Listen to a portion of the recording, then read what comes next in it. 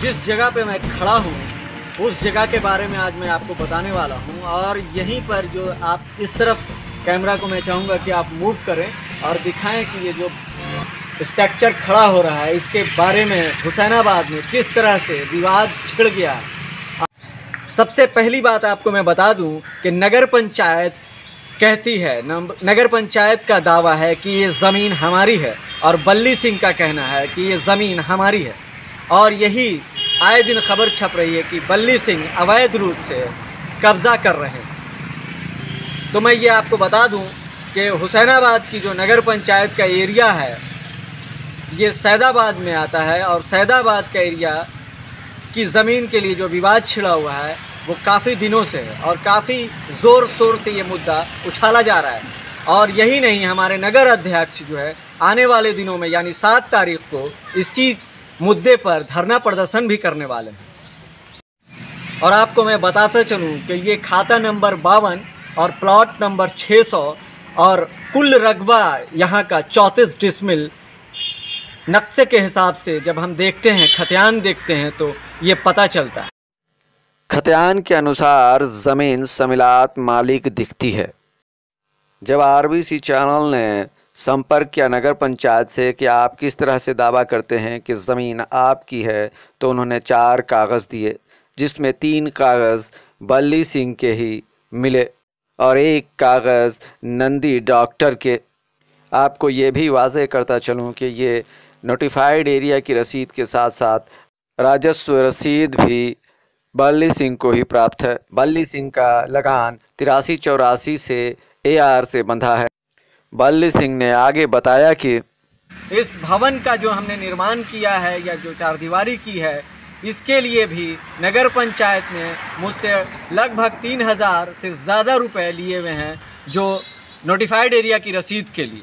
वहाँ से भी मुझे रसीद प्राप्त है और यही नहीं, अंचल ने मुझे इसकी अनुमति दी है एसडीओ ने भी अनुमति दी है।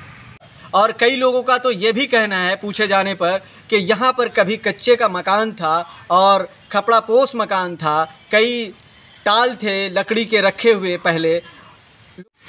जो मैं आपको बता रहा हूँ, ये उन्नीस सौ चौरासी की बात है, जब ये लकड़ी का टाल और यहाँ पे घर कच्चा मकान देखा जाता था। आपको मैं बताता चलूँ कि ये जो वाइट वाला घर दिखा रहा हूँ मैं आपको, ये डॉक्टर नंदी के नाम से जाने जाने वाले व्यक्ति का है।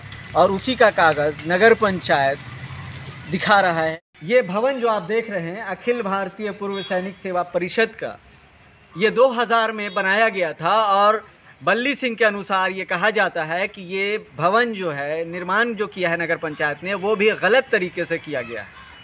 और उसने नगर पंचायत ने अपनी ज़बरदस्ती से किया हुआ है, जिस पर मैं आने वाले दिनों में दावा करूँगा, क्योंकि इस पर मेरा पूरा पूरा हक बनता है। सरकारी तहसील भवन जो कर्मचारी भवन के नाम से आज महात्मा गांधी विवाह मंडप के नाम से जाना जाता है। बना हुआ है। बना हुआ है। वो सात डिसमिल में है। अच्छा। अंतर कार्यालय के आदेश पाल जगदीश राम को सात डिसमिल आवंटित है और शेष पाँच डिसमिल ज़मीन जो मेरा बच रहा था वो मेरे नाम से बंदोबस्त है और उस दिन से मैं उस ज़मीन पर काबिज हूँ और आज भी काबिज हूँ। हाथाबंदी मेरे ज़मीन का पूरा कर दिया गया है। अब यह अफसोस की बात है कि हमारे साथ नगर अध्यक्ष बाद जबरन ये हरकत कर रहे हैं और बुढ़ापे में हमें प्रसारित कर रहे हैं, मानसिक रूप से प्रसारित हूँ, शारीरिक रूप से प्रसारित हूँ। आगे चलकर कि भाई मैं इनके ऊपर कानून संबद्ध विधि व्यवस्था के अनुसार कार्रवाई करने के लिए बात होऊँगा। और आगे मैं अभिवक्ताओं से राय ले रहा हूँ कि इस पर क्या कार्रवाई की जा सकती है?